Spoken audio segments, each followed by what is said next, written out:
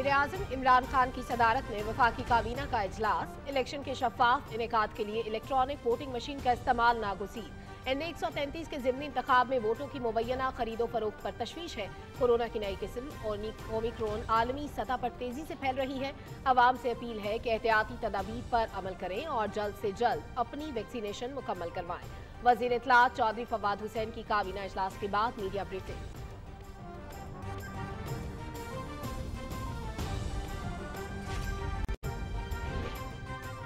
दुनिया में सिक्योरिटी के तरीक़ाकार बदल रहे हैं। साइबर सिक्योरिटी वक्त की ज़रूरत है। मुल्क को महफूज और मुस्तकम बनाने के लिए साइबर सिक्योरिटी माहरीन तैयार करना होंगे। यूनिवर्सिटीज़ इस शोबे पर खसूसी तवज्जो दें। दुनिया में तेज़ी से रूनुमा होने वाली तब्दीलियों के बायस साइबर सिक्योरिटी का शोबा इंतहाई अहमियत इख्तियार कर गया है। सदर डॉक्टर आरिफ अलवी का digital Pakistan cyber security hackathon awards की तकरीब से खिताब।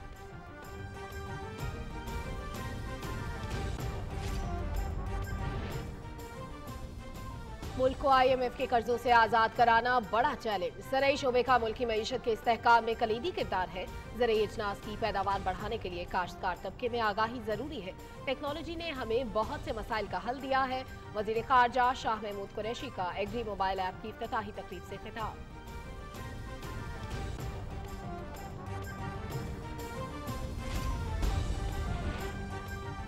तारीख में पहली बार किसी वज़ीर आज़म ने जमीनों के ऑडिट का हुक्म दिया है। सियासी जमातें हुकूमत में आकर सरकारी जमीनों पर कब्जे करती हैं। पूरे मुल्क में 5,500 अरब रुपए की जमीनों पर कब्जे हैं। जंगलात की 5,200 कनाल अराजी को वागुजार करा लिया गया है। गैर कानूनी कब्जा करने वालों को डेढ़ अरब रुपए जुर्माना किया गया। तहरीक इंसाफ हुकूमत ने इस्लामाबाद में मेगा प्रोजेक्ट शुरू किए हैं। वज़ीर ममलकत इतलात फरूख हबीब और अली नवाज़ अवान की news conference.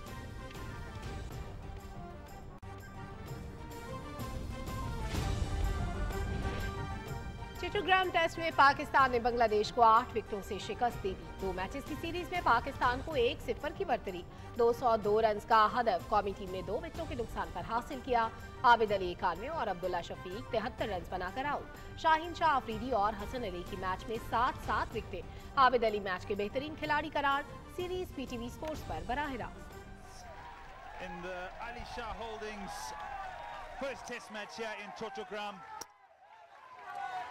Pakistan have won the first test match by eight wickets.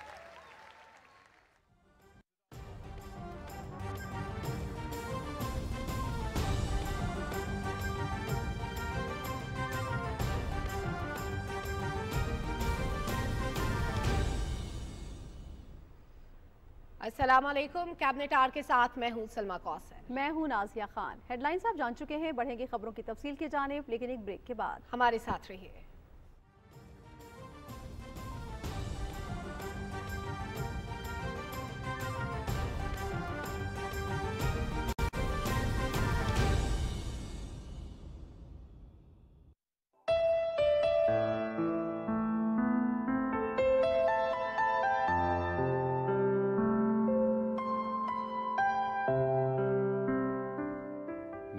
निगाह इसको मस्ती में वही यव्वल वही आखिर, वही कुरान, वही फुरकान, वही यासीन, वही त्वाहा।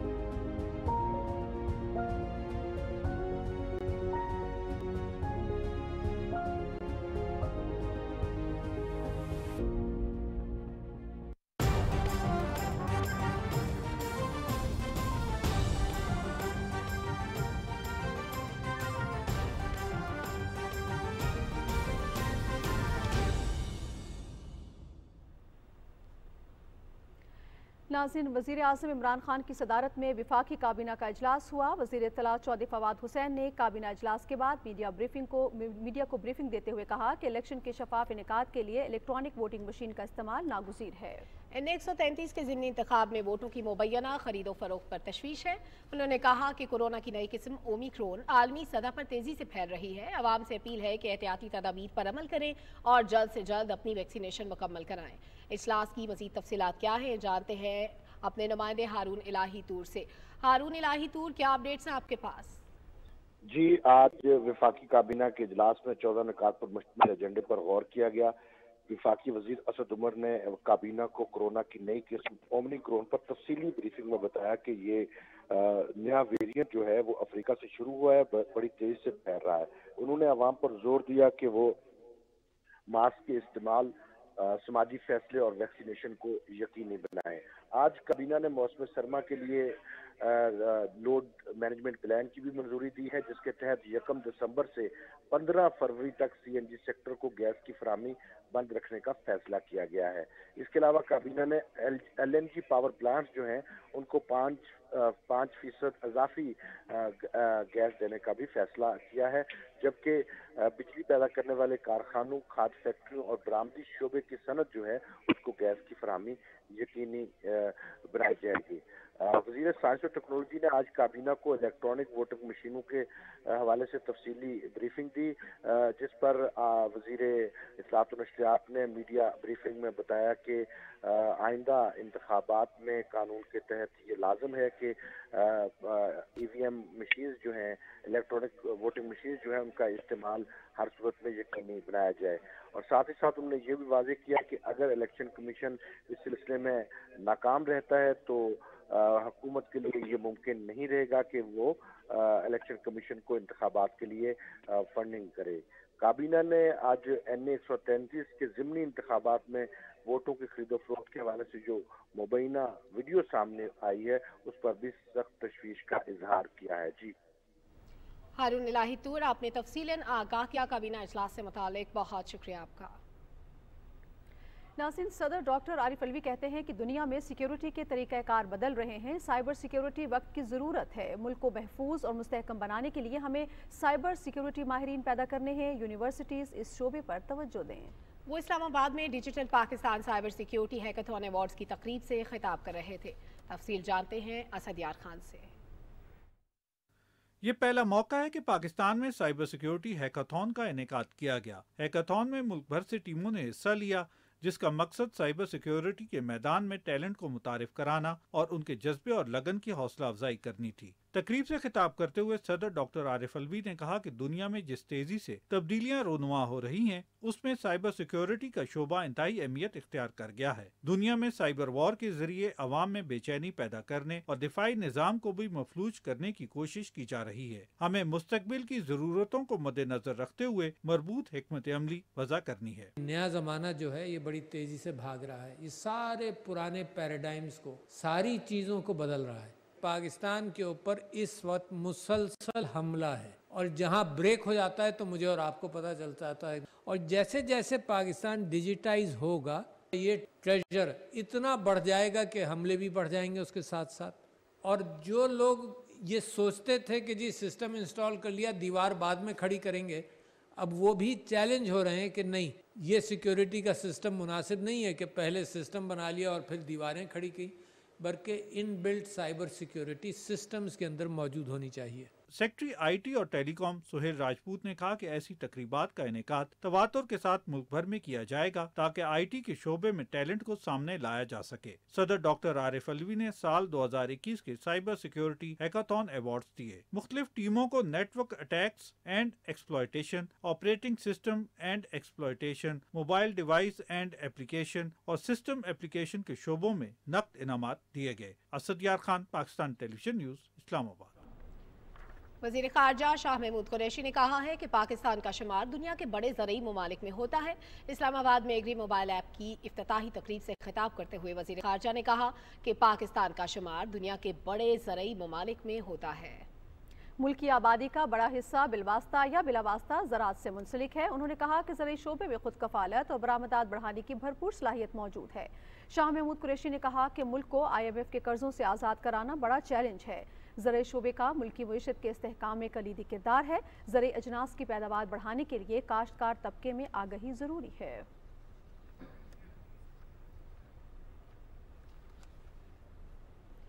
वज़ीर ममलिकत बरए इतलात नशरियात फ़रूख हबीब और वजी अजम के मुआवन खसूसी अली नवाज़ अवान ने मुश्तर न्यूज़ कॉन्फ्रेंस करते हुए पाकिस्तान की तारीख में पहली बार अराजी की कैडिस्ट्रल मैपिंग की जा रही है। पूरे मुल्क में पचपन सौ अरब रुपए की ज़मीनों पर कब्जे हैं। इस्लामाबाद में न्यूज़ कॉन्फ्रेंस करते हुए वज़ीर ममलिकत फ़रूख हबीब ने कहा कि माजी की हुकूमतों ने सरकारी अराजी पर कब्जे करवाए। वफाकी दारकूमत में पाँच सौ अरब रुपये की तजावजात हैं। उन्होंने कहा कि मुल्क की तारीख में पहली बार वज़ीर अजम इमरान खान सरकारी ज़मीनों के ऑडिट का हुक्म दे रहे हैं। पूरे पाकिस्तान की जो स्टेट लैंड है, उसको डिजिटलाइज किया गया है। उसका रिकॉर्ड जो है वो मुकम्मल कर लिया गया है, जिसके अंदर सूबा पंजाब, खैबर पख्तूनख्वा, बलूचिस्तान, ये तीनों सूबाई हुकूमतों ने जो है वो भरपूर ताउन किया है। और सिंध हुकूमत ने हमेशा की तरह जो है वो अदम ताउन का जो है रवैया अपना बरकरार रखा हुआ है।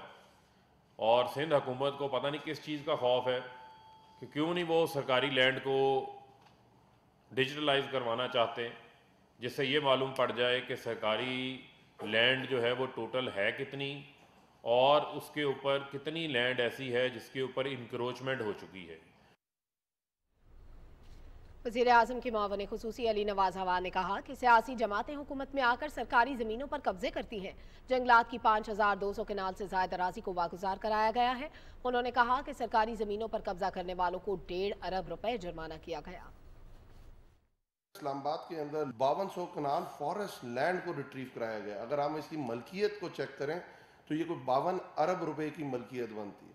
उसके बाद आप ये देखें कि एक जो कोडिशनल मैपिंग होती है, इससे पहले आपने बड़े नारे सुने होंगे, वो वो जो वक्त की रफ्तार से तेज़ चलने वाले हमारे वज़ीर अला थे वो कहते हैं, मैंने लैंड रिकॉर्ड डिजिटाइज कर दिया land record land record digitise करने का तो सिर्फ़ ये तरीका था कि आपको दो जगह रिश्वत देनी पड़ती थी।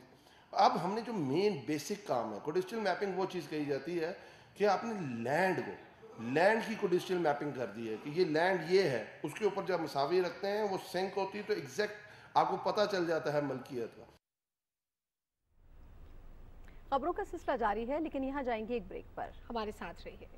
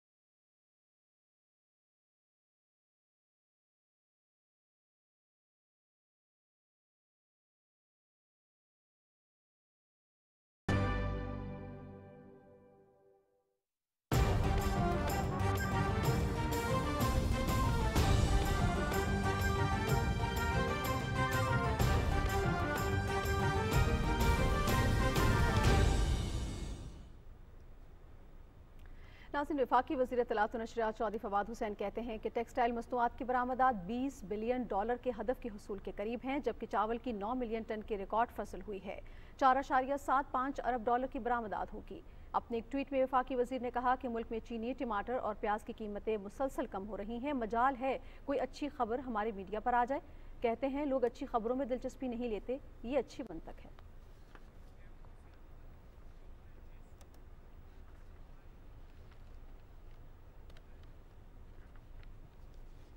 नाजिन, इस वक्त टेलीफोन लाइन पर हमारे साथ मौजूद हैं जैसुमा लिमानी एग्रो इंडस्ट्रीज़ एक्सपर्ट हैं। इस हवाले से मजीद बात करेंगे। ज़रात के शुबे के हवाले से काफ़ी गहरी नज़र रखते हैं।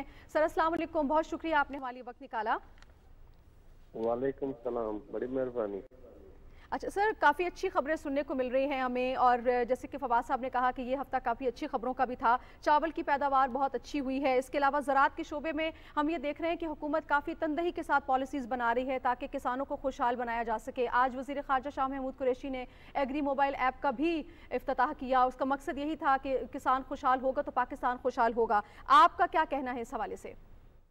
यकीन हमारे जो मिनिस्ट्री ज़रात है, ये सैद फखरमान साहब या शाह महमूद कुरैशी साहब, ये हमारे ज़रात से इनका तलक भी है और इस हुकूमत ने इस साल, यानी कि हमारे पास राइस के तो वैसे ही हमारा रिकॉर्ड बन जाएगा इस साल। वैसे हमारी कॉटन की क्रॉप भी अगले साल से बेहतर है इस साल और हुकूमत ने इस साल जिसमें हमारी जो मिनिस्ट्री जो हमारी फ़ूड एंड सिक्योरिटी उन्होंने बहुत अच्छे इकदाम उठाए हैं और हमारे प्राइम मिनिस्टर इमरान खान साहब की जो उनकी डायरेक्शन है, वो हमारे जो इस मुल्क में जो इस, ये साल किसान खुशहाल साल कहा जाए तो उसको आप डिना नहीं कर सकते हैं। क्योंकि गंदम के रेट भी अच्छे हुए हैं गंदम में भी किसान खुशहाल रहा, उसके बाद शुगर केन की भी प्राइस अच्छी रही है और इसके अलावा राइस और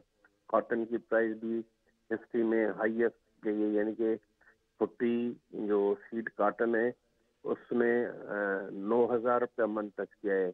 और इस हुकूमत ने मिनिमम फाइव थाउज़ेंड रुपीज़ इस साल अनाउंस किया था, जिसका एक बहुत बेहतर इफ़ेक्ट है और हमारा जो ग्रोअर मोटिवेट हुआ है, हमारी जो लोकल काटन जो क्रॉप गिरती रही थी, जिसकी प्रोडक्शन मुसलसल गिर रही थी पिछले चार पाँच सालों से उसको एक बेहतर है और हम उम्मीद करते हैं अगले साल और भी बेहतर हमारी क्रॉप आएगी। इस साल जितनी क्रॉप हमारी प्लस हुई है और अगले साल और twenty two, twenty five percent हमारी क्रॉप की उम्मीद है।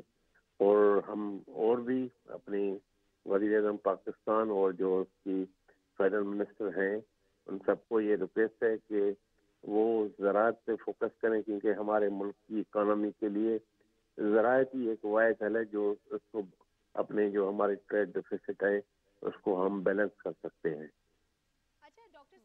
जिस तरह हमारी प्रोडक्शन बढ़ रही है मुख्तलिफ़ चीज़ों में क्रॉप्स की हम बात कर रहे हैं तो जब प्रोडक्शन बढ़ती है तो कंज्यूमर की बाइंग पावर भी बढ़ती है। इससे आवाम के लिए ऑब्वियसली आसानी पैदा होती है। हमारी एक्सपोर्ट्स भी बढ़ रही हैं। इससे हमारी इकोनॉमी को कितना बूस्ट मिलेगा आने वाले दिनों में? बिल्कुल यकीन मिलेगा क्योंकि इंटरनेशनल प्राइस बहुत अच्छी है। और हमारी जो इस रेट होने की वजह से जो हमें लोकल मार्केट में ये रोड रेट मिलता है किसान को, वो बहुत अच्छा मिल रहा है, जिसकी वजह से वो जो किसान है, वो वापस उसी ज़रात पे री इन्वेस्टमेंट करेगा, जिससे हमारी जो प्रोडक्शन है, उसमें मैं समझता हूँ कि जो आगे जो भी हमारा साल आएगा, उसमें ट्वेंटी परसेंट और प्लस होने की उम्मीद है, क्योंकि प्राइस कम होने की वजह से पिछले सालों में तो किसान बेचारा जो है ना इसमें वो रेट इंटरनेशनल मार्केट में हम जो इंपोर्ट पे चले गए थे वो मैं समझता हूँ कि ये जो रेट हमारे किसान को मिले हैं चाहे गंदम में चाहे कॉटन में चाहे शुगर केन में तो इसमें हम खुद कफील हो जाएँगे। अभी भी हमारे पास जो कुछ टेक्नोलॉजी वाइज हमें इसी टेक्नोलॉजी पे काम करना चाहिए। जिसकी इज़्ज़त ज़रूरत है हमारे मुल्क को, क्योंकि हमारी जो यील्ड है as compare to other country अगर हम कॉटन के हमारी पाकिस्तान की जो एक्सपोर्ट है, वो टेक्सटाइल है। जो 20 बिलियन की आप बात करें, वो टेक्सटाइल फैक्ट्री है, जो हम उसको बढ़ाकर आगे एक्सपोर्ट कर सकते अच्छा, हैं सर यहाँ पर एक सवाल जो मेरे जहन में आ रहा है और पूछना बहुत ज़रूरी है। एक तो वो तरीक़ाकार है ना रिवायती तरीक़ाकार जिसके ज़रिए हम आगे जाते हैं किसानों के हवाले से अगर बात करें या फ़सलों के हवाले से बात करें या जिस तरह आपने बात की कि धान की फ़सल है या कॉटन के हवाले से। टेक्नोलॉजी का इस्तेमाल आप क्या समझते हैं? पूरी दुनिया में टेक्नोलॉजी का इस तरह के तरीक़ेकार आ चुके हैं कि जिससे वो डबल ट्रिपल अपनी फ़सलों को कर लेते हैं या अपनी चीज़ों को कर लेते हैं। आप क्या समझते हैं टेक्नोलॉजी का इस्तेमाल और फिर जिन लोगों ने उसको इस्तेमाल करना है, उनको समझाना, किस टेक्नोलॉजी को इस्तेमाल कैसे करना है, ये किस कदर ज़रूरी है? बिल्कुल सख्त ज़रूरत है, क्योंकि हमारे पास जो इस इस वक्त जो डिफिशेंसी है, वो किसान को अवेयरनेस की कमी है। और जो दुनिया टेक्नोलॉजी यूज़ कर रही है, उसमें हमारी हुकूमत अपने हिसाब से उन, जितने भी उनके वसाइल हैं, वो यूटिलाइज कर रही है। लेकिन हमारे प्राइवेट सेक्टर को भी इसमें आगे आना चाहिए। खाली हुकूमत कुछ नहीं करेगी। जो हमारे स्टेक होल्डर हैं, जो हमारे इंडस्ट्रियलिस्ट हैं, वो आगे आए, हुकूमत का हाथ बढ़ाएँ, बटाएँ, वो इस मुल्क की इकोनॉमी को ऑन करें वो सारा बोझ अगर खाली हुकूमती वजीरों पे या हुकूमती मशीनरी पे डालेंगे वो पॉसिबल नहीं है दुनिया में कहीं भी।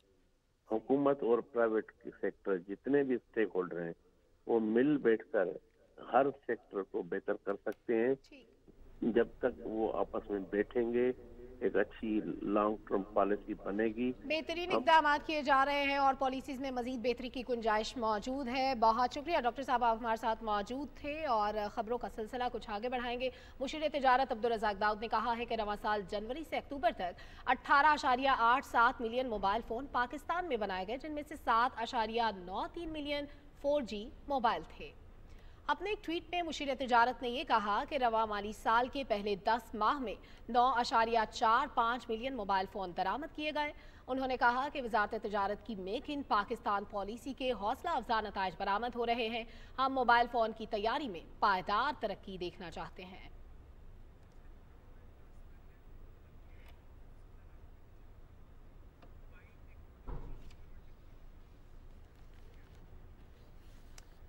इसी मामले पर बात करने के लिए हमें ज्वाइन किया है नदीम राउ साहब ने सदर रावलपिंडी चैम्बर ऑफ़ कॉमर्स है। बहुत शुक्रिया सर आपने वक्त दिया। नदीम राउत साहब पाकिस्तान की जो टेक्नोलॉजी इंडस्ट्री है वो भी ग्रो कर रही है। ओवरऑल हम ट्रेड में भी काफ़ी इम्प्रूव कर रहे हैं। कैसे देखते हैं इन ताज़ा तरीन डेवलपमेंट्स को आप? जी अस्सलाम and thank you very much for taking me online ji definitely uh, मैं पहले भी ये कई दफ़ा बात कर चुका हूँ। कि हमारी जो टेक्सटाइल सनत है, वो इस वक्त बड़ी बूम कर रही है। और दो तीन सेक्टर्स हैं जिसमें अभी काफ़ी ज़्यादा काम हो रहा है और उसमें ख़ास तौर पर टेक्सटाइल के इसमें मेन चीज़ जो अगर हम इसको फोकस करें, अगर देखें कि जी क्यों ये ऐसा हो रहा है, उसमें मेन चीज़ ये है कि गवर्नमेंट का फोकस रहा है इस पर गवर्नमेंट जिस सेक्टर पे फोकस करती है, उसको मराहत देती है डेफिनेटली उसमें इंसेंटिव देती है तो वो इंडस्ट्री उसी हिसाब से बूम भी करती है। आप ये टेक्सटाइल सनत देख लें, आप कंस्ट्रक्शन इंडस्ट्री देख लें, पैंतीस से चालीस इस वक्त अलाइड इंडस्ट्रीज़ हैं उसके साथ कंस्ट्रक्शन के साथ। उधर एमनेस्टी दी गवर्नमेंट ने वो, उसने काफ़ी ज़्यादा अच्छा परफॉर्म किया। इसी तरह टेक्सटाइल जो बंद लूम्स थी, बड़े पिछले द्वार में जो बिल्कुल बंद हुई हुई थी और बिल्कुल लोहे के भाव वो वहाँ की मशीनरी जो बिक रही थी, इस वक्त वहाँ पे 24 फोर आवर्स चल रही हैं। और जो हमें वहाँ से एक्सपोर्ट हो के जो हमें फॉरन रिज़र्व मिल रहा है that is very very good और मैं गवर्नमेंट से इस being as a president Rawalpindi chamber of commerce मैं फोरम पे ये बात करता हूँ और मैं यहाँ पे भी इस वजह से बात करना चाहूँगा कि बाकी इंडस्ट्रीज़ भी जो हैं उस पर भी फोकस अगर गवर्नमेंट करे और इसमें कोई थोड़ी सी इंसेंटिव दे तो बहुत ज़्यादा हम इसमें बेहतरी कर सकते हैं। क्योंकि आपके पास इतना ज़्यादा टैलेंट है, जैसे आप देखें कि आपके मोबाइल जो हैं, वो जो कि हंड्रेड परसेंट हमारे इम्पोर्ट हो रहे थे। वो आहिस्ता आहिस्ता हमारी इम्पोर्ट्स जो सी हैं, वो खत्म, कम हो रही हैं और हम लोकल उसकी प्रोडक्शन कर रहे हैं। अभी बहुत बड़े जो ब्रांड है, वो भी अब यहाँ पे अपने प्लांट लगा रहे हैं। चाइनीज़ ब्रांड अपने ऑलरेडी प्रोडक्शन कर रहे हैं। फैसलाबाद में लगा है, लाहौर में लगा है। Samsung is coming in I think in Karachi और समवेयर सो ये ये वो चीज़ें हैं जो हम बड़ी आसानी से यहाँ पे टेक्नोलॉजी ट्रांसफ़र करके हम प्रोडक्शन कर सकते हैं। और गवर्नमेंट को थोड़ा सा फोकस करने की ज़रूरत है कि this is the only way to promote paid in Pakistan and as Rawalpindi chamber of commerce भी हमने हमेशा इस चीज़ पे फोकस किया है कि जब तक हम मेड इन पाकिस्तान को लेके नहीं चलेंगे हम अपनी सनती रिवाइवल या हम अपना जो अपना इंडस्ट्रियल जो रिवाइवल है वो नहीं ला सकेंगे। हम, हमें अपनी इंपोर्ट्स को करटेल करना है, हमें उस पर उस पर फोकस अपनी लोकल इंडस्ट्री पे करना है और इसमें बहुत ज़रूरी है कि गवर्नमेंट थोड़ा सा इसमें इनिशिएटिव्स दे मुख्तलिफ़ इंडस्ट्रीज़ को और जब तक गवर्नमेंट इसमें इनिशिएटिव नहीं देगी तो ये मजीद परवान नहीं चढ़ेगी और मसाले आपके सामने हैं। आप एग्रीकल्चर में देख लें, आप टेक्सटाइल में देख लें, आप ये कंस्ट्रक्शन इंडस्ट्री में देखें कि गवर्नमेंट ने सपोर्ट किया और वो इस वक्त कहाँ से कहाँ जा रही है। इवन के जो ममालिक हमसे बेहतर कर रहे थे, वो इस वक्त हमसे पीछे हैं। प्लस जीएसपी प्लस का साथ जीएसपी प्लस का हमें बड़ा इस वक्त एडवांटेज है। सो मतलब ये बड़ी अच्छी खुशाइन बात है कि आजकल के दौर में कोई हमें अच्छी खबर सुनने को मिल जाए। Unfortunately thanks to PTV this is the एक मीडियम है जहाँ पे हमें एक पॉजिटिव कुछ खबरें देखने को मिलती हैं। तो ये चीज़ें हो रही हैं पाकिस्तान अच्छा मतलब जहाँ मसले मसाइल हैं मुश्किल हैं नो डाउट कारोबारी हजरात, इस वक्त जो एक इंटरनेशनल जो एक प्रॉब्लम्स आई हुई हैं कोविड की वजह से या इन्फ्लेशन जो हुई हुई है पूरी दुनिया में, उसमें पाकिस्तान भी घिरा हुआ है। बट जहाँ इस तरह की चीज़ें हैं, वहाँ अच्छी चीज़ें भी हैं। हम एक्सपोर्ट हमारी बड़ी बढ़ रही है, हमारे फॉरेन रिज़र्व बढ़ रहे हैं। So we need to focus more on these things and government को चाहिए कि इसमें मजीद जो सा है, वो फोकस करे। इंडस्ट्री को प्रमोट करना बहुत ज़रूरी है और मेड इन पाकिस्तान को स्पेशली ठीक, नदीम साहब, आपने जिस तरह की हमने बात की कि पाकिस्तान की जो पॉलिसी है वजारत तजारत की जानब से कि मेक इन पाकिस्तान को प्रमोट किया जाए, आप क्या समझते हैं कि हुकूमत ज़ाहिर काम कर रही है, इस तरफ़ तवज्जो मरकूज़ किए हैं, जिसके हवाले से, जिसके नतीजे के तौर पर हमें इतने अच्छे नतज सामने देखने को मिल रहे हैं, आप क्या समझते हैं कि कौन से इनिशिएटिव जिसका भी बार बार आप ज़िक्र भी कर रहे हैं, मजीद हुकूमत ले ताकि इसको मजीद बूम मिल सके? देखिए जैसे मैंने आपको ज़िक्र किया कि जब तक गवर्नमेंट कुछ मराहत नहीं देगी इंडस्ट्रीज़ को, आप इसमें बहुत सारी चीज़ें हैं जिसमें कि आप इसमें कुछ एमनेस्टी में भी आप ला सकते हैं या कुछ मराहत दे सकते हैं जो लोकल इंडस्ट्री को फ़रोग देने के लिए कि जो चीज़ें आप बाहर से इंपोर्ट करें। सिंपल मसाल आपके पास मोबाइल इंडस्ट्री की है कि वो मोबाइल जो 100 परसेंट बाहर से इंपोर्ट हो रहे थे, गवर्नमेंट ने उसमें कुछ हमने जेवीज किए कुछ चाइनीज़ कंपनीज़ आई, कुछ जापानीज कंपनीज़ आ रही हैं और उनको फैसिलिटेट किया, कुछ टैक्सेशन में फैसिलिटेट करे, कुछ जो इंडस्ट्रियल फ्री जोन हैं, उनमें इजाफा किया जाए। इसी तरह मैं अब ये बात ज़रूर यहाँ पे करना चाहूँगा कि जिस तरह आप यहाँ रावलपिंडी की अगर मैं बात करूँ तो यहाँ पर रिंग रोड बनने जा रही है। और मेरा ख्याल है अभी अगले महीने प्राइम मिनिस्टर का अफ्ताह भी कर रहे हैं। इसका जो ओरिजिनल पहले प्लान था वो ये था कि इसके इर्द गिर्द इकोनॉमिक जोन डेवलप किए जाए। और इकोनॉमिक जोन में इंडस्ट्री डेफिनेटली इंडस्ट्री लगेगी जॉब क्रिएशन होगी।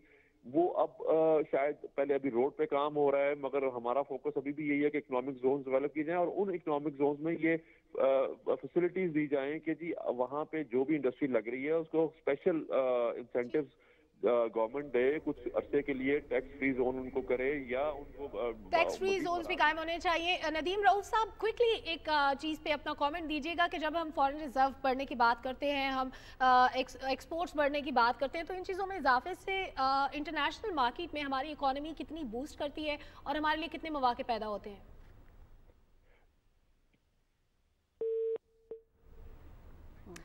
कदीम साहब से लाइन ड्रॉप हो गई है और बहुत ही खुशाइन चंद खबरें हमारे साथ, हमारे पास मौजूद थी, जिस पर हमने नदीम रऊफ साहब का भी ओपिनियन लिया सदर रावलपिंडी चैम्बर ऑफ़ कॉमर्स हमारे साथ मौजूद थे। नाजरीन, अभी वक्त हुआ है एक ब्रेक का। साथ रहिएगा।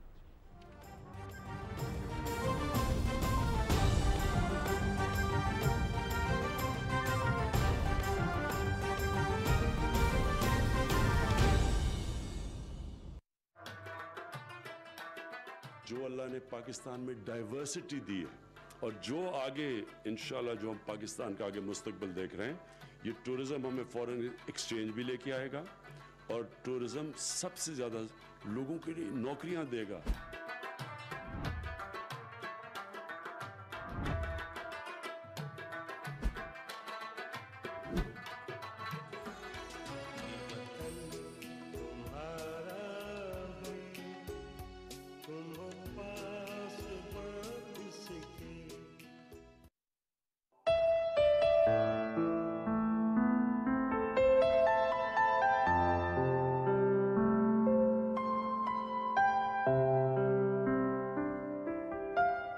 पुरचीद का सामान सफ़र ताज़ा करें।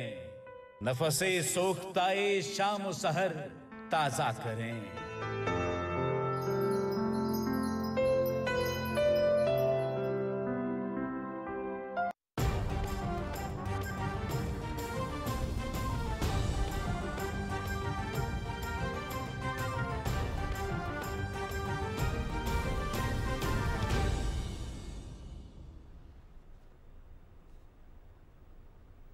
खबरों के सिलसिले को आगे बढ़ाएँगे और आपको बताएँ कि विफाकी वज़ीर तालीम शफकत महमूद ने कहा है कि तरक्की याफ्ता दौर में आगे बढ़ने के लिए तालीम बहुत अहम है। पढ़ाई के साथ गैर निसाबी सरगर्मियाँ भी बहुत ज़रूरी हैं। तमाम तालीमी इदारे भी खुले रहेंगे और इम्तहान भी होंगे। स्पोर्ट्स कॉम्प्लेक्स इस्लामाबाद में इंटर बोर्ड स्पोर्ट्स काला की इफ्ताही तकरीब से खिताब करते हुए वजी तालीम शफकत महमूद ने कहा कि तालीमी सरगर्मियों के साथ साथ जिसमानी सरगर्मियों पर भी तवज्जो दे रहे हैं। वज़ीर तालीम कहा कि तालीमी इदारों का मैार मजीद बुलंद करने के लिए कोशा है। तकरीब से मुंतजमीन ने कहा कि तीन मरहलों में स्पोर्ट्स काला का अहतमाम किया गया है। स्पोर्ट्स काला की अफ्ताही तकरीब में तलबा की कसीर तादाद भी शरीक हुई, जो तीन दिसंबर तक जारी रहेगा।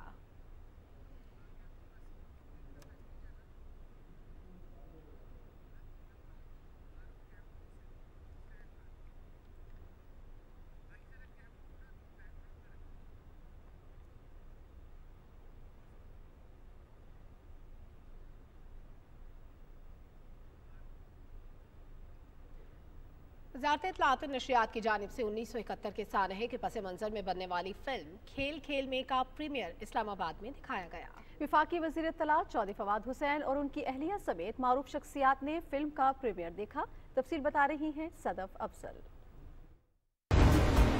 आज़ाद ज़िंदगी गुजारते हुए आज के नौजवान सिर्फ़ जीत की बात करना चाहते हैं।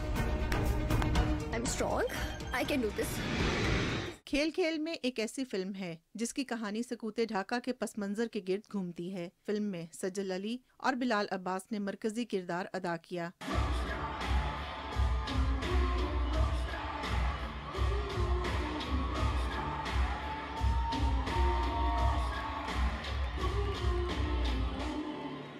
प्रीमियर के मौके पर वफाकी वज़ीर इतलात चौधरी फवाद हुसैन ने कहा कि सकूते ढाका के नतीजे में जिस इंसानी अलमिया ने जन्म लिया इस पर बहुत कम काम हुआ है। हमारा मकसद ये था कि ये लोगों को बताया जा सके कि सिनेमाज जो हैं आर बैक नॉर्मल सोसाइटीज़ जो हैं वो उनमें एंटरटेनमेंट बड़ा इंटेग्रल हिस्सा है। सो उसको हम फिल करना चाहते हैं और ये मूवी भी उसी का एक हिस्सा है कि हम एंटरटेनमेंट को फ़िल्म को वापस लेके आ सकें। कोविड के बाद सिनेमाज में आना एक बहुत एक्साइटेड हूँ। मैं खुद बहुत एक्साइटेड हूँ आने के लिए। Best of luck to the to the producer to the cast and the film ख़ास तौर के ऊपर जो हमारी यूथ है उसको पाकिस्तान की जो हमारी तारीख है, उस हवाले से रोशनास करवाने के हवाले से इसके अंदर बड़ा एक अहम मैसेज है। फ़िल्म के मरकजी किरदारों का कहना था कि फ़िल्म की कहानी तारीख के हकीकी वाकयात पर मबनी है। मोहब्बत से बड़ी पीस से बड़ा कोई पैगाम नहीं होता। पचास साल हो गए हैं 1971 के इंसिडेंट को इस बारे में कभी किसी ने बात नहीं की। लोग बहुत खुश हैं बहुत इमोशनल भी हो रहे हैं फ़िल्म को देख के।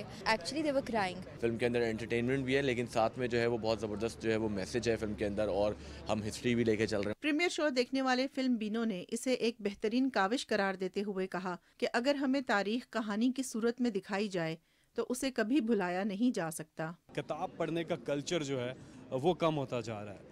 तो इन टूल्स के ज़रिए आप लोगों को हिस्ट्री के बारे में बता सकते हैं। It was very difficult topic मेरे ख्याल में इससे पहले कभी किसी ने टच नहीं किया लेकिन they performed very well youth के लिए बहुत अच्छा टॉपिक है ये फ़िल्म ज़रूर देखें। वज़ीर इतलात चौधरी फवाद हुसैन की दावत पर हकूमती अरकान शोबिज इंडस्ट्री से ताल्लुक़ रखने वाली मारूफ शख्सियात समेत लोगों की बड़ी तादाद ने फ़िल्म देखी। सकूत ढाका के हकाइक से आगाही बेहद ज़रूरी है। इस हवाले से दिखाई जाने वाली ये दस्तावेजी फ़िल्म नहायत अहमियत की हामिल है। Sadaf Afzal, Pakistan television news, Islamabad.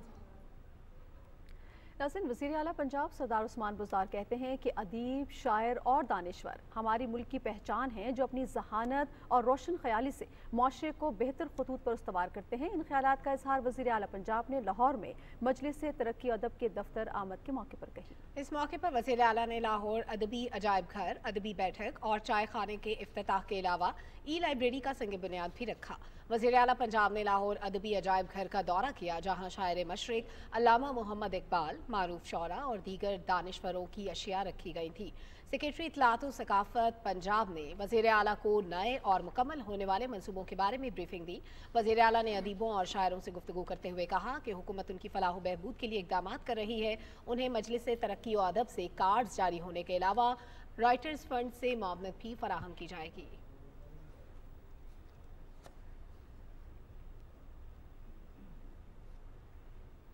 Punjab के तमाम स्कूलों में आइंदा असम्बली के दौरान तलावत के बाद दरूद पाक इब्राहिमी पढ़ा जाएगा ताकि नई नस्ल दरूद पाक के फयोज बरकत से मुस्तवीद हो सके। स्कूलों में असम्बली में बाकायदगी से दरूद पाक के विद के हवाले से वज़ीर अला की हिदायत पर चीफ सेक्रेटरी पंजाब को मुरासला भेज दिया गया है। वज़ीर अला पंजाब ने हिदायत दी है कि रहमतमीन हज़रत मोहम्मद मुस्तफ़ा सल्लल्लाहु अलैहि वसल्लम की खिदमत में दरूद शरीफ पेश करना हर मुसलमान के लिए एजाज़ है और बारगाह रसालत में दरूद शरीफ पेश करने से बरकत नाजिल होती हैं जो बच्चों के इस्लामी खतूत पर आबियारी के लिए बहुत ज़रूरी हैं।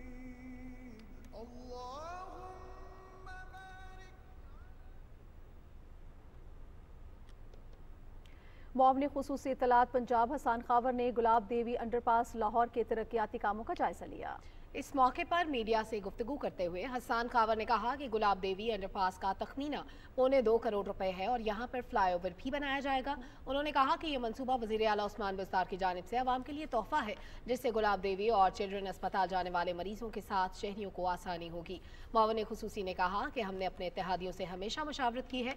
शाही खानदान की तरह नहीं है कि बस एक ही खानदान फैसला करे। हसान खावर ने कहा कि एन एक सौ तैंतीस में पैसे देकर वोटों को इज़्ज़त दी जा रही है। अपोजिशन इसीलिए टेक्नोलॉजी से डरती है क्योंकि बैरून मुल्क बसने वालों को ये खरीद नहीं सकते।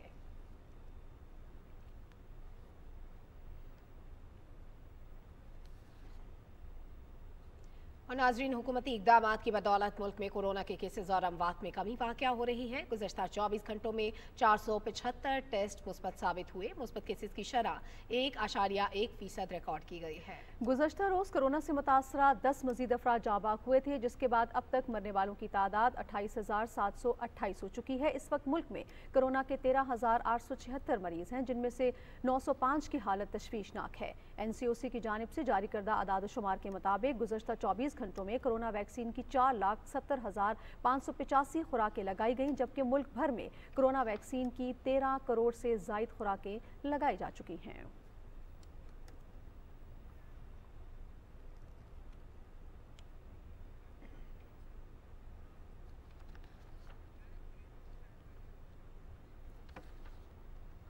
नाजरीन, अभी वक्त हुआ है एक ब्रेक का।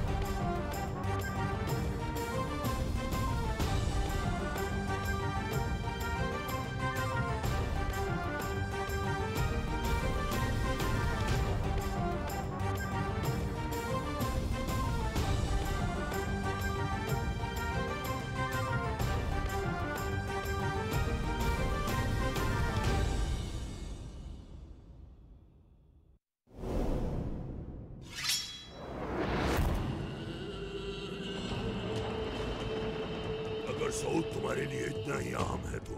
मेरे लिए अहमियत इस बात की है कि ये खिता एक काबिल शख्स के हाथ में हो। जुल्म और खौफ का खात्मा हो चुका है। इंसाफ फिर अपने रास्ते पर गामजन ये अच्छी शराकत नहीं है। मुझे ऐसे ही सरदार की ज़रूरत है। धोखेबाजी है ये। ताल्लुकात बढ़ाने होंगे तुम्हें उनके साथ। पूरे अनातोलिया को राख का ढेर बना दूँगा। बुजदिल हर रोज और बहादुर सिर्फ़ एक बार मरता है। आपको इसका खमियाजा भुगतना पड़ेगा अर्तुल सरदार। हमारा इस्तेमाल करके उसने अलन जग से दोस्ती करने की कोशिश की। हम वो हाथ थाम लेते हैं जो दोस्ती की नीयत से आगे बढ़े और जो दुश्मनी से बढ़े उसे काट देते ढूंढ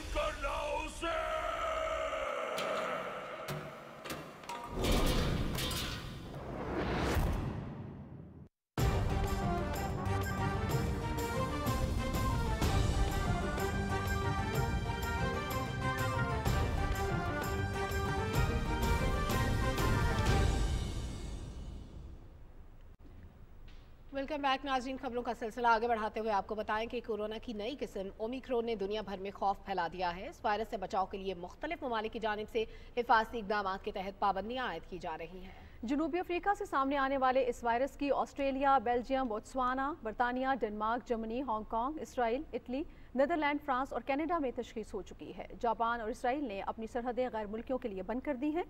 जापानी वजी का कहना है कि ऐसा उस वक्त तक रहेगा जब तक ओमिक्रोन से मुतालिक तफसील वाजे नहीं हो जाती। इस सूरत हाल पर गौर के लिए जी सेवन का हंगामी इजलास भी तलब कर लिया गया है। अमरीका, इंडोनेशिया, सऊदी अरब समेत कई मुल्कों ने ओमिक्रोन के बायस सफरी पाबंदियों में सख्तियों का ऐलान कर दिया है। आलमी दार सेहत ने खबरदार किया है कि ओमिक्रोन के फैलाव के संगीन नतज हो सकते हैं।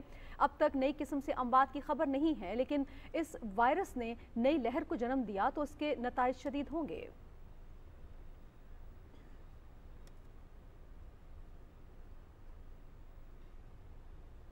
दूसरी जानब अमरीका के सदर जो बाइडन ने कोरोना वायरस की सामने आने वाली नई किस्म ओमिक्रोन को तशवीश का सबब करार दिया, मगर कहा कि ये दहशत जदा होने की वजह नहीं है। एक बयान में सदर ने कहा कि वो अमरीका में बड़े पैमाने पर लॉकडाउन पर गौर नहीं कर रहे।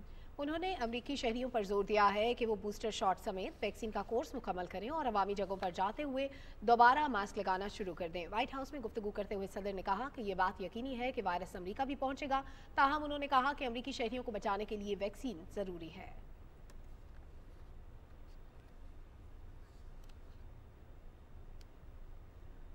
कोरोना वायरस की नई किस्म ओमिक्रोन क्या है और ये क्यों ज़्यादा ख़तरनाक तस्वुर की जा रही है? इस बारे में तफसील से जानते हैं हसन तारिक पर्ट से।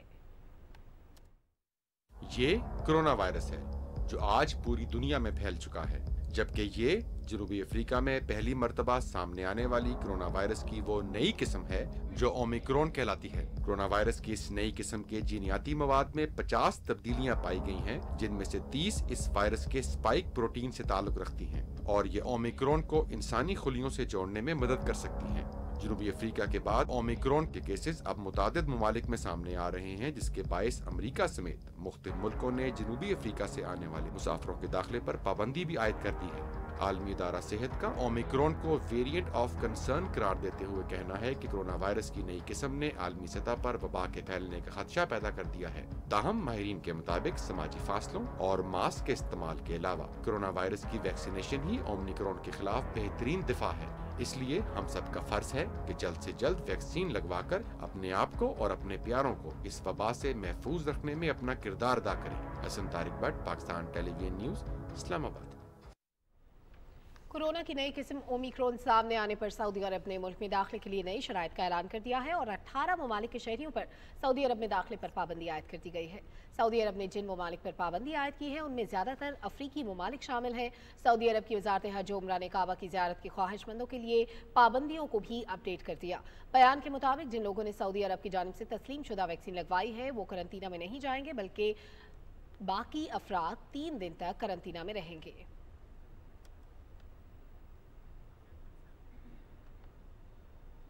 नाजरीन अफगान दारकूमत में आज सुबह एक बम धमाके के नतीजे में पाँच अफराद जख्मी हो गए। ये बम एक सड़क पर नस्ब किया गया था। बज़ाहिर इस धमाके में एक गाड़ी को निशाना बनाया गया था।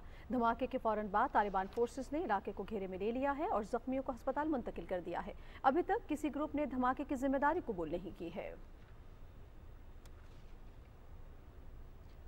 अकवा मुतहदा के इदारे वर्ल्ड फ़ूड प्रोग्राम ने अफ़गानिस्तान के इंतहाई गरीब आवाम की माली मदद का सिलसिला शुरू कर दिया है। इस प्रोग्राम के तहत दारकूमत काबुल में तीन हज़ार ख़ानदानों में नकद रकम तकसीम की गई। माशी और माशरती मसाइल से दो चार मुल्क अफ़गानिस्तान में लोगों की तंगदस्ती और माली बदहाली अपने अरूज पर पहुँच चुकी है। वर्ल्ड फ़ूड प्रोग्राम की जानब से फ़ी ख़ानदान सात हज़ार अफगानी दिए गए। ये रकम उन खानदानों को दी गई जो इंतहाई शदीद हालात में ज़िंदगी बसर करने पर मजबूर थे। रूस ने हाइपरसोनिक क्रूज मिसाइल का एक और कामयाब तजुर्बा किया है। ये जदीद मिसाइल आवाज़ की रफ्तार से पाँच गुना तेज़ी से अपने निशाने पर वार करते हैं। रूस की वजारत दिफा ने तजुर्बे की कामयाबी का दावा करते हुए कहा है कि एक बहरी जहाज़ से हाइपरसोनिक क्रूज मिसाइल लॉन्च किया गया और इसका निशाना 400 किलोमीटर फासले पर था। रूस इस किस्म के मिसाइलों के मुताद तजुर्बा कर चुका है और अपने जंगी जहाज़ों और आबदोजों पर उन्हें नस्ब करने की मनसूबाबंदी कर रहा है।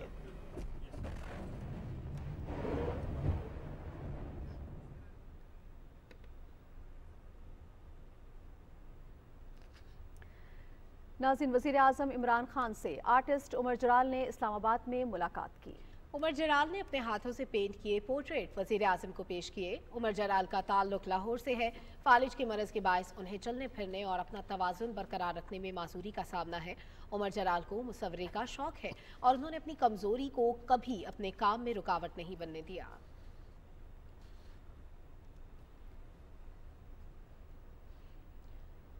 नुमाइंदा खसूसी मोहम्मद ताहिर महमूद अशरफी ने कहा है कि आलम इस्लाम के मसाइल के हल के लिए पाकिस्तान अपना भरपूर किरदार अदा करता रहेगा।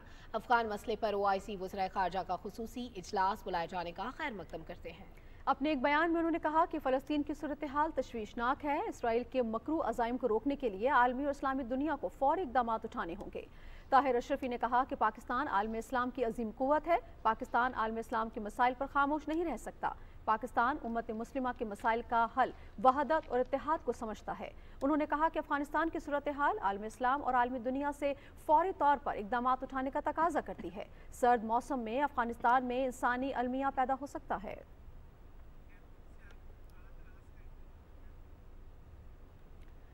सूबाई वज़ीर तालीम पंजाब मुराद रास ने कहा है कि यकसा निसाब तालीम का इतलाक तमाम सरकारी, निजी स्कूलों और दीनी मदारस पर किया जाएगा। पीटीवी के साथ खसूसी बातचीत में उन्होंने ये भी बताया कि इस की तरबियत के लिए लर्निंग मैनेजमेंट सिस्टम का आगाज़ कर दिया है। अपनी गुफ्तु में सूबाई वज़ीर तालीम ने मजीद क्या कहा, आपको सुनवाते हैं। जो हमारी मेन हाईलाइट्स थी मेरे ख्याल से वो थी जो हमने ई ट्रांसफ़र की। सारे टीचर्स की ट्रांसफ़र ऑनलाइन कर दी हमने। और अब जो हम खोलने जा रहे हैं ना इन ताला आप देखना, जो हम उसका साइकिल अब खोलने जा रहे हैं, जो पहले उसके अंदर प्रॉब्लम्स थे ना हमने सारे रिजॉल्व कर दिए। हम 95 परसेंट जो टीचर्स हैं ना आप वो अपनी पसंद से जहाँ पे उनकी ज़रूरत है वहाँ जा सकेंगे। इसके अलावा जो हमने किया ट्रांसजेंडर्स के लिए स्कूल कभी नहीं खुला। आ, हमेशा लोग कहते थे जी इनको आप रेगुलर स्कूल्स में पढ़ाएँ। रेगुलर स्कूल्स में आप इनको नहीं पढ़ा सकते। टाइम लगेगा इनको रेगुलर स्कूल्स आने के लिए। हमने उनके लिए मुल्तान में खोला अब हम लाहौर में खोलने जा रहे हैं। अपग्रेडेशन का हमने सबसे बड़ा स्टेप लिया। मेरे ख्याल से कभी भी किसी हुकूमत में ये नहीं हुआ। आठ हज़ार से ज़्यादा स्कूल हमने अपग्रेड किए। सारी दुनिया में ये होता है कि जो स्कूल बिल्डिंग्स हैं, वो सुबह, दोपहर, शाम, रात इस्तेमाल होती हैं। हम दो बजे ताला लगा के चले जाते हैं और कि जी अब दोबारा इस्तेमाल नहीं होनी। तो हमने प्राइमरी स्कूल्स देखे जहाँ पे कैपेसिटी थी, जहाँ पे बच्चे थे, क्योंकि एक्सेस का बहुत बड़ा इशू है कि अगर प्राइमरी स्कूल है तो एलिमेंट्री करीब नहीं है। तो आठ हज़ार स्कूलों को हमने अपग्रेड किया जहाँ पे आफ्टरनून क्लासेस शुरू की, हमने एलिमेंट्री की। और आप ये देखें कि हमने दो महीने के अंदर, अभी ढाई महीने हुए शुरू हुए, डेढ़ लाख बच्चा वापस स्कूलों में आ गया। जो कि अब कोई दो नंबर इसमें इसलिए नहीं कर सकता क्योंकि हमारे पास बेफॉर्म है। बेफॉर्म के बगैर आ नहीं कोई सकता जो कि पहले कभी किसी हुकूमत ने नहीं किया। हमने हर बच्चे का बेफॉर्म लिया बच्चों के लिए और टीचर्स के लिए बेस्ट टीचर की ट्रेनिंग की जो हमने की। आप सोच भी नहीं सकती हैं कि कोविड की वजह से जितना नुकसान बच्चों ने और टीचर्स ने उठाया। कोरोना की वजह से डेढ़ साल स्कूल बंद खुल बंद खुल रहे हैं। टीचर्स की ट्रेनिंग बड़ी आ, उस पर इफ़ेक्ट हो रही थी। हमने सारी उनकी ट्रेनिंग जो है ऑनलाइन कर दी। एस को तो सिंगल नेशनल करिकुलम को तो हमने बहुत एम्फोसाइज करके इम्प्लीमेंट करवाया और हमारे साथ सारे स्कूल्स ने भी एग्री किया। आ, मगर कुछ स्कूल्स को इजाज़त ऑब्वियसली अगर कोई ज़्यादा पढ़ाना चाहता है other than those books additional to those books तो वो ज़रूर पढ़ा सकते आप कभी भी किसी को ये नहीं कह सकते लिमिट नहीं कर सकते पढ़ाई के ऊपर कि हाँ जी कि आपने इतना पढ़ना है इससे आगे नहीं पढ़ना। अगर कोई ज़्यादा पढ़ाना चाह रहा है एडिशनल टू आर बुक्स बिल्कुल पढ़ाएँ ज़रूर पढ़ाएँ। और हम तो चाहेंगे कि अगर देखें हर स्टूडेंट एक जैसा तो नहीं होता ना। या हर स्कूल एक जैसा नहीं होता। So if somebody wants to give additional information बच्चों को एडिशनल चीज़ें सिखाना चाहते हैं absolutely they should be allowed हम ऑनलाइन इंसाफ अकेडमी बनाने लगे जिस तरह खान अकेडमी अमेरिका के अंदर एक ऑनलाइन जो नाइन टेंथ और अलेवन ट्वेल्थ के लिए हम शुरू करें पहले इन क्लासों के लिए ninth tenth eleven twelfth online academy होगी, उस पर रिकॉर्डेड लेक्चर्स पहले से हम शुरू करेंगे और उस पर क्विजेज होंगे। ताकि वो बच्चा तैयारी कर सके। ये ना हो जिस तरह बच्चे सुबह स्कूल जाते हैं, फिर शाम को अकेडमी जाते हैं, जो स्कूल का टीचर है वो कहता है अकेडमी आके मेरे से पढ़ना। बस माँ बाप को सुबह भी पे करनी पड़ती है फ़ी शाम को भी। ये फ्री लेक्चर्स होंगे कोर्सेज के ऊपर, और फ्री क्विजेज होंगे ऑनलाइन उनके फ़ोन पे, उनके टीवी पे, उनके लैपटॉप पे, उनके आईपैड उनके जो पास, उनके पास एक है चीज़, ठीक है जी? और उसके बाद ये लाइव लेक्चर्स भी हम इन ताला, अगले साल ही, कुछ महीनों के बाद फिर हम लाइव लेक्चर्स भी शुरू कर देंगे। आप देखना कि ये इतनी बड़ी फैसिलिटी हमारे बच्चों के लिए होगी। फ्री ऑफ़ चार्ज कोई इसका चार्ज नहीं होगा। और फ्री ऑफ़ चार्ज और आप देखना इस वक्त उस पर काम हो रहा है।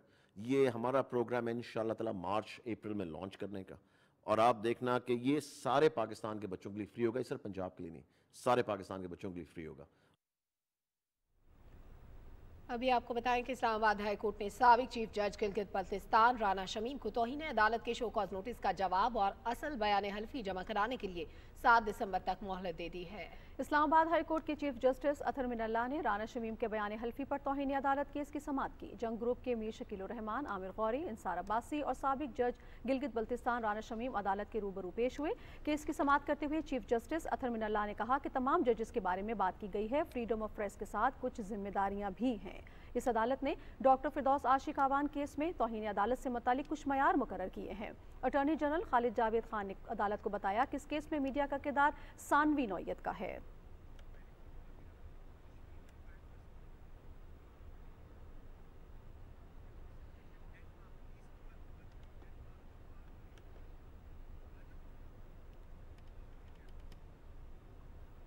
नाजिन, आठ पाकिस्तानी आईटी कंपनीज़ पर मुश्तमिल वफ डेनमार्क में डिजिटल टेक समिट में शिरकत कर रहा है।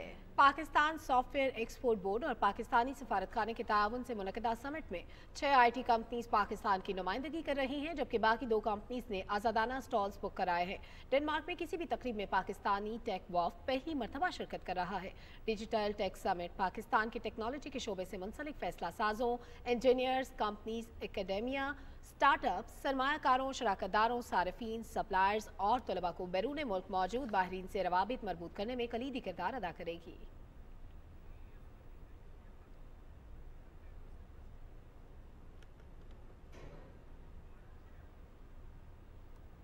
पीएएफ फिनिशिंग स्कूल इस्लामाबाद की तालिबात ने पीटीवी सेंटर इस्लामाबाद का दौरा किया। इस मौके पर तालिबात को पीटीवी के मुख्तलिफ़ शोबों का दौरा कराया गया और पीटीवी की तारीख प्रोग्रामिंग और दीगर उमूर के मुतालिक बताया गया। तालिबात को पीटीवी न्यूज़ पीटीवी वर्ल्ड के शोबा न्यूज़ और हालात हाजरा के काम के तरीक़ाकार के बारे में आगाह किया गया। वफ ने स्टूडियोज मास्टर कंट्रोल रूम और एडिटिंग रूम भी देखा, जहाँ उन्हें प्रोडक्शन से मुतालिक तकनीकी मालूम और एडिटिंग में जदीद रुझान के बारे में आगाह किया गया।